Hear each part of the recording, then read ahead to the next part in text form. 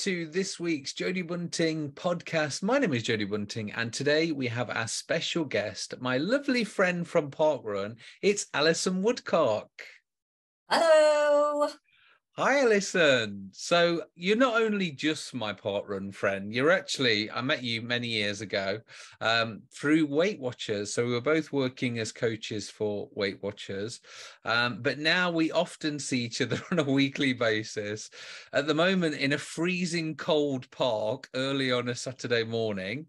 So tell us a little bit about yourself. Um, what is your kind of your weight loss journey? How did you get into health and fitness?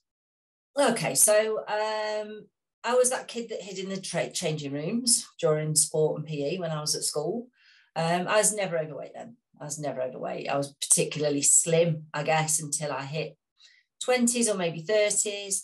Um, I got a sister who was super slim, super fit, did lots of running, and I was that fat kid, really. Um, I embarked on my Weight Watchers my first Weight Watchers journey after I had my first child. He's 30 next year. And like most of us, we dip in and out of Weight Watchers most of our adult lives. Um, my most recent Weight Watchers journey was when my son was about to graduate in 2014. Um, I went on holiday in 2013 with my partner in February. All my summer clothes had shrunk whilst they were in the suitcase over the over the, the winter period. How does that happen, eh? Yeah. Got on the beach in Tenerife in February, nothing fit me, grim. Uh, on the plane home on the Sunday night at midnight, I said to my partner, I'm going to Weight Watchers tomorrow. He was like, What? You're fine. So I joined Weight Watchers. Um, did I run then? No, not really. I'd done an odd bit here and there. As I said, I've got a sister who was a keen runner. I never felt like I was good enough. She ran 10K, she ran half marathons. She wouldn't get out of bed for 5K. That's what she used to say to me. Um, so part and parcel of my most recent weight loss journey was getting my fitness back um, or finding that fitness really. And the two do go hand in hand. Yeah. You've not got to run a marathon to be fit, but that activity, that steps, that moving every day along with the healthy eating is what works for me. I got to goal in um, May 2014 as Ben graduated in July 2014 and wore a size 10 dress. Uh, felt fabulous. Um, am I still on plan? Mm, not really. Am I still at goal? Yeah, I'm five pound either yeah. side. But exercise has become a massive part of my life. And I honestly believe that if you exercise enough, you can forgive almost anything. Yeah, it's true. You know, it's all about maths and metabolism and stuff like that. And exercise just tips that balance, doesn't it? For sure. I do an active job. I work in a school. I work, I run 12, walk 12,000 steps every day. I run five days out of seven. I've got a puppy. So I'm never still. And I think I eat cake and I drink wine because I can. Yeah. And this is and, what life is all about, isn't it? You've got to enjoy the journey yeah. Uh, let me tell you about yesterday. So I uh, joined some friends yesterday and we did the Kedleston Hall Jingle Jog. So 5K, uh, non-timed around Kedleston Hall. It was freezing. We did the 5K very slowly. We finished the 5K. We were given a mince pie. Fabulous. Sat in the cafe. I've got a friend who's a cook. She'd made gingerbread Christmas trees. I had one of them. I've got a friend who also is a cook. She'd bought chocolate brownies. I had one of them. The lady in the cafe was a friend of one of my friends. She brought us a box of chocolate shortbreads. I had one of them. My other friend had a water bottle full of Baileys. As if you could earn that many calories in 5K. but in my head, I can. And a lot of these water bottles are like a litre. So that's like a full bottle of Baileys. There were six of us. We had a little droppy each. But do you know what, mate? That is why I run. I run so that I can have guilt-free treats. Yeah, that's and I'm careful. I'm careful. I eat chicken. I eat fish. I eat veg. I don't eat fried food. Yeah. I don't eat a lot of sweet stuff. But I drink wine. I eat crisps. And yeah, after a run, I have a piece of cake. Yeah. And it, this is what I say to my guys. You know, it's if you want to eat or or drink things that you think are unhealthy, do a bit of exercise beforehand and it's complete, you know, it takes away the guilt, it takes away any bad feeling, doesn't it? Because you do deserve it. So the problem is you're always hungry. Yeah. When you exercise, you're always hungry. That's the bad thing about fitness. You, your metabolism gets to a rate where you do need to feed yourself all the time. Babybel is my best friend. Yes, I'm a big Baby fan Bell. of those. Incredible. Easy to carry with you on a run as well. Certainly, for sure. Yeah, for sure. So, what was your total weight loss? Uh, 21 pounds. Okay. So not an awful amount of weight, I know, but it was a lot of weight to me. Um, it was that difference from being not comfortable with myself to being comfortable with myself. And it doesn't matter, does it? As a, as a Weight Watchers leader, I knew that it could be five pounds, yeah. it could be 10 pounds. It didn't matter.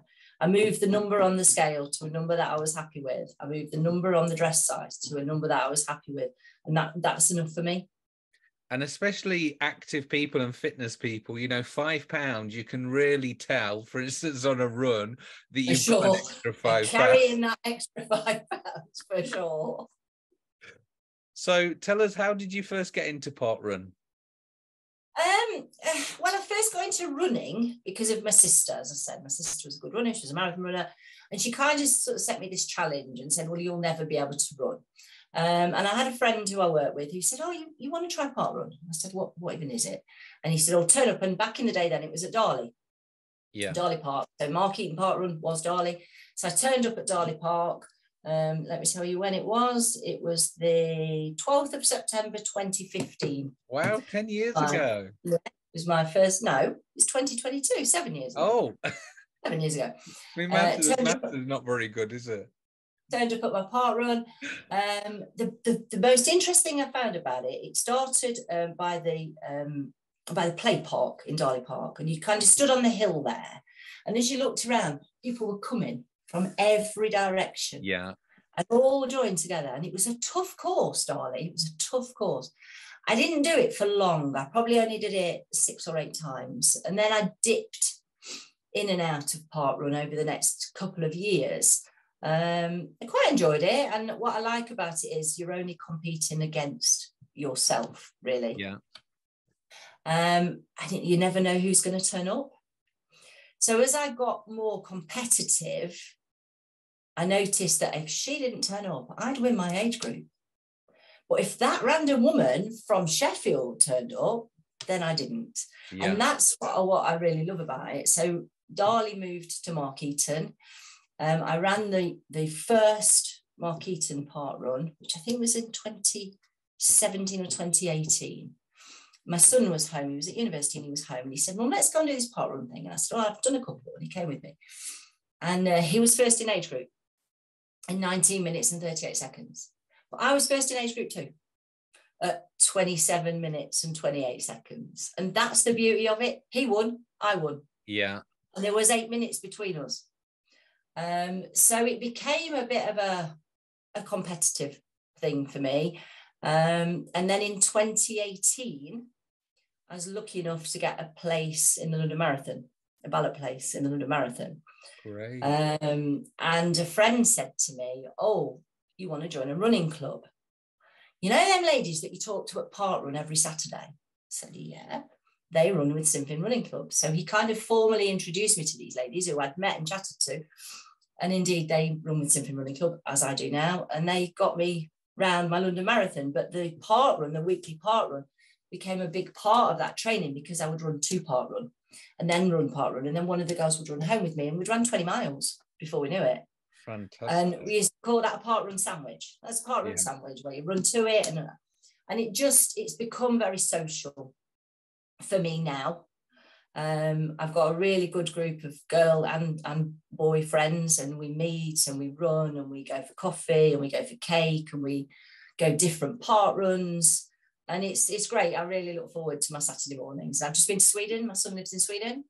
Um, and he said, What do you want to do on Saturday morning, Mum? I went, Ah. we need to ask. And he was like, seriously. Um, so he turned up at the park run and he'd been, he- he's not a runner, but he'd been doing some training. He's ran a marathon and he said, I'd love to run sub 21, mum. I'd love to run sub 21. And I said, well, I'd run run sub 30. Um, I think I was third in age group, but he ran a 1928 park run. And it just shows you that when you turn up into that environment, yeah. you can really push yourself. You can really push yourself. But also, I've tail walked. And that doesn't matter either because you're helping. Mm-hmm. I've seen you tail walk and you're helping those people yeah get across the finish line. And anybody, anybody has got 5k in them, I believe. Yeah and it like you said it is just that community. I don't know what it is but there's such a great feeling amongst the runners and the volunteers and stuff like that. And this is why it has spread literally throughout the world isn't it? Because world, they've yeah. got this great recipe. Now yeah for, for sure. It, it, it just it's just a real feel good on a saturday morning. Yeah. And you know you're home for 10 o'clock 10 30 and you feel really good because you've done something.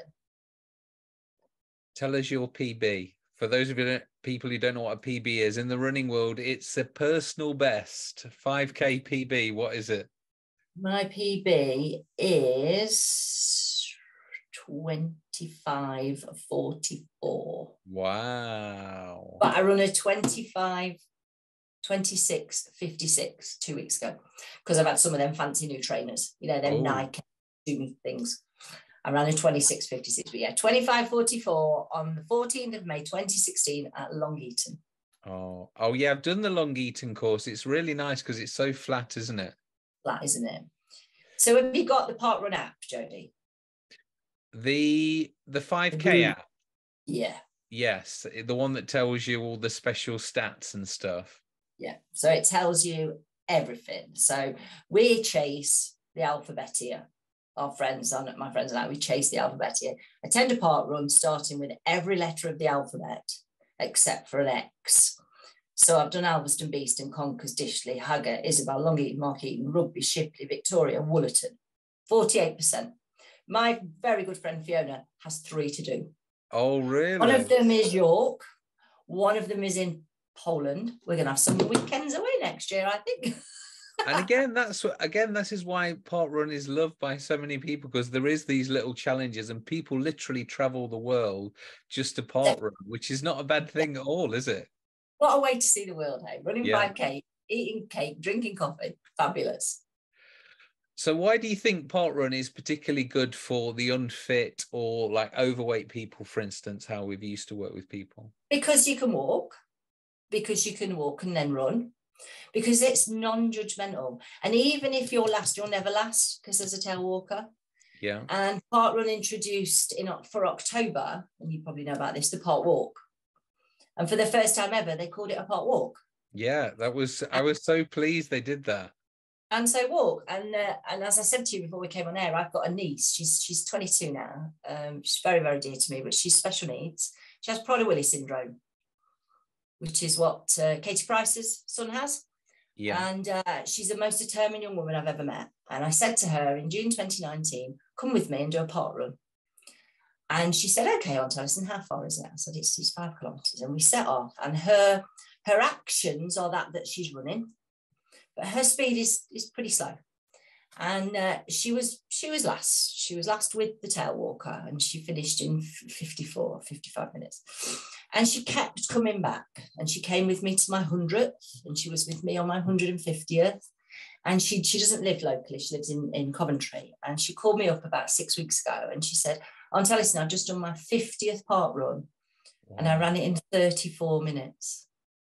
Amazing. and that, that's incredible that is yeah. just incredible. And to see that progression, and yeah, it's took three years, but to see that progression, and when she comes here, she goes to Parkrun locally with her dad, and her dad goes and they run and they get in the car and they go home. And she comes with me, and my friends are all here, and they're all cheering her on at the end.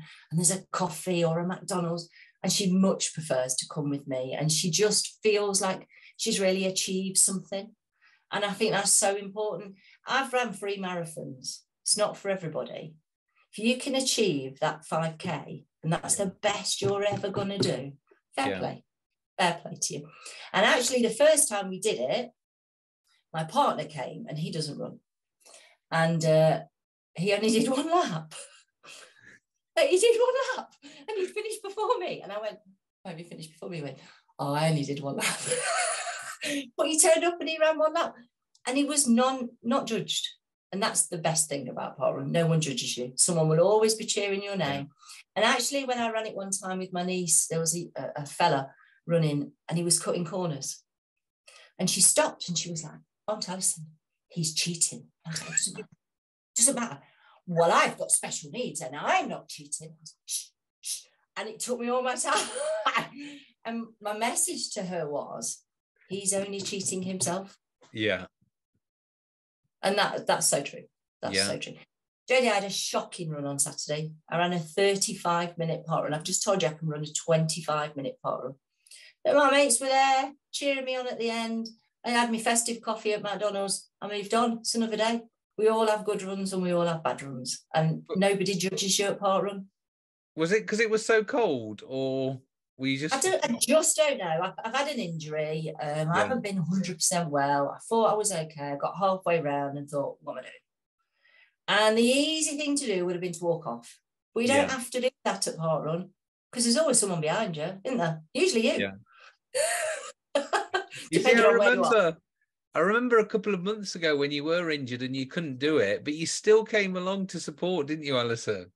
Yeah. So in my club, in my running club, we have park run championship, and you get points for where you finish. You get points if you go elsewhere. You get points, but you get points for volunteering because volunteering is key. Yeah. If you don't volunteer, you can't have a park run. So we're encouraged to volunteer at least three times a year, and I think we all do that. And if we all do that, then we've always got got a run to go to. And what Yeah. you do, you thought, well, that's a volunteering event, isn't it?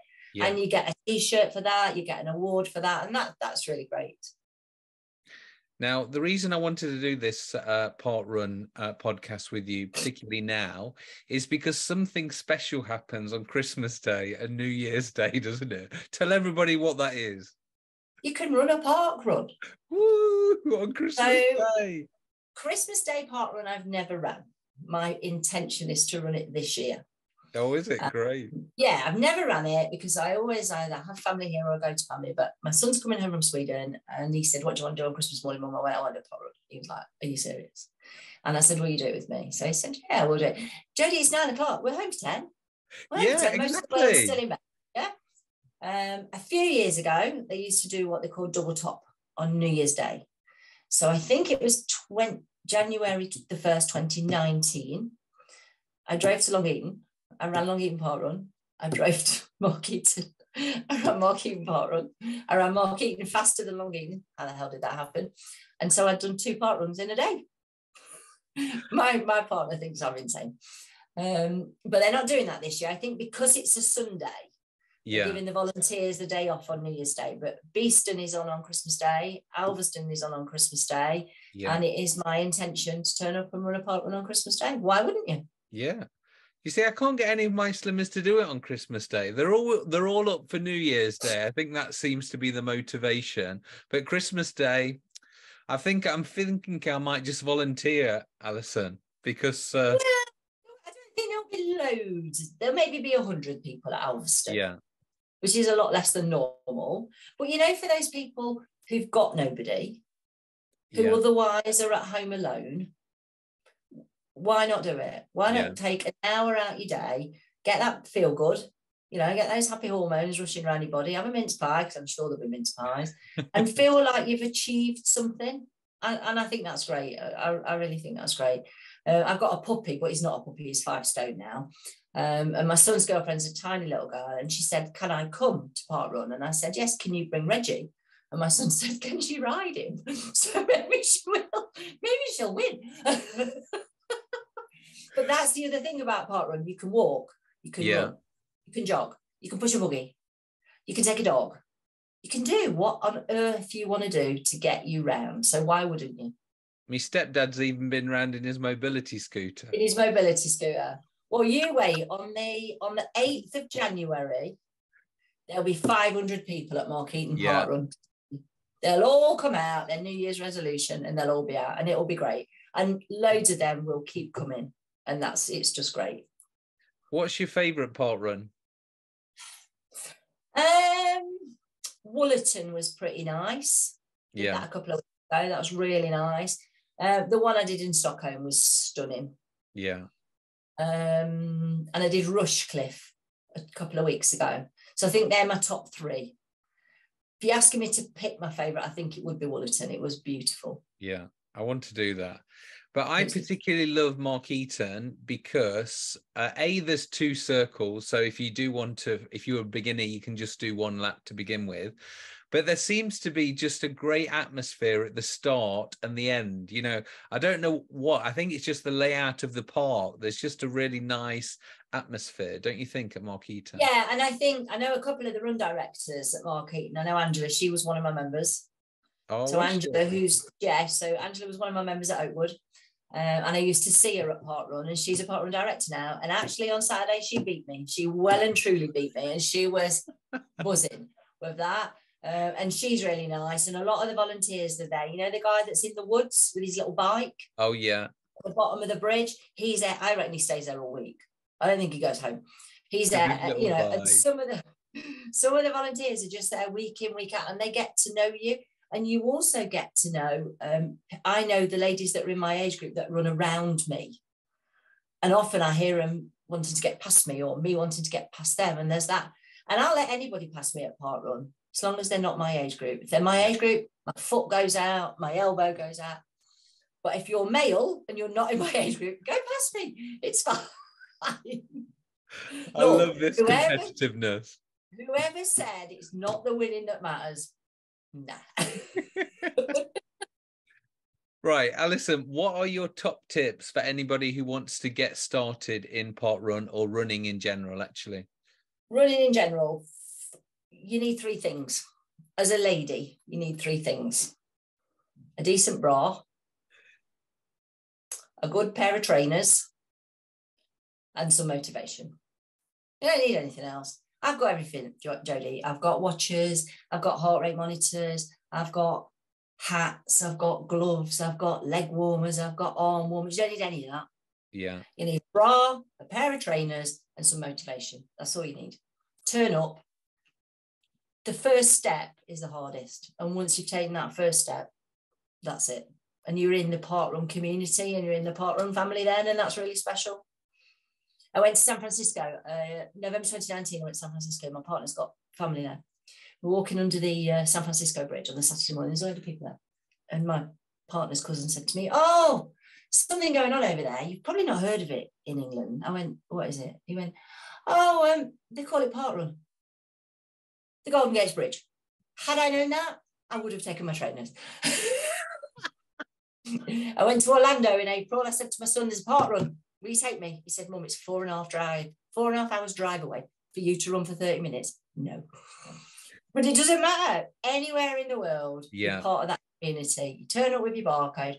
When I went to Sweden, I've got my barcode on my Garmin. Have you? You don't need that bit of paper. Got yeah, it got it on me iWatch. So I showed it in Stockholm. They were like, oh my life, we didn't know you could have that. And that starts really? a whole other conversation. Yeah. yeah. And they um, was my son's friend was there and uh, she stood at the side of me and she said, they'll do all the announcements in Swedish. I said, all right, okay. So he did the first announcements in Swedish and then he dropped into English and he said, any tourists? And my son's friend's going, so I went, yeah, yeah. And there's a fella at the side of me, went, yeah, yeah. So he turned to the fella at the side of me, he said, where are you from? And this fella said, Wales. Ooh. So he turned to me, he said, where are you from? I said, England. Everybody went, Ooh. And the guy at the back shouted, Australia.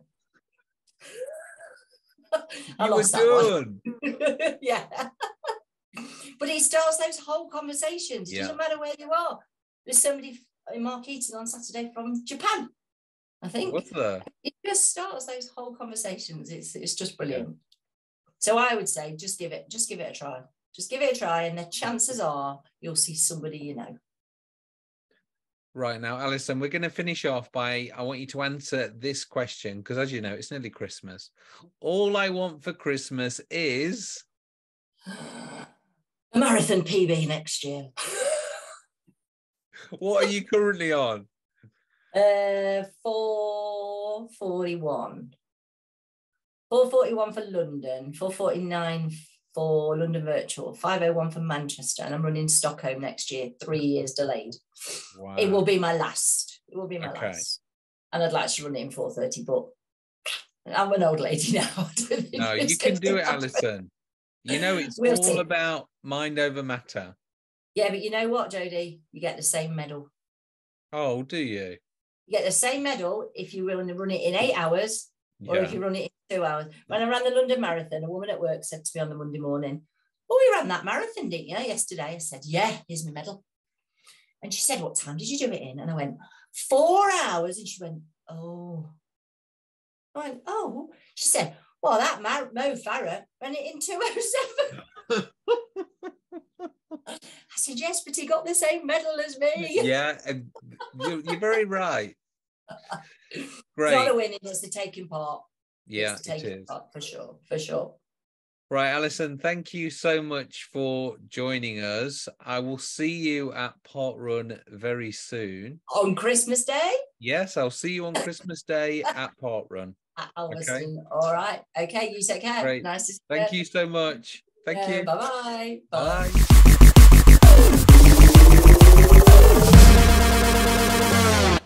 Please remember to like, give me a comment, share with your friends, and of course subscribe to my channel. Thank you.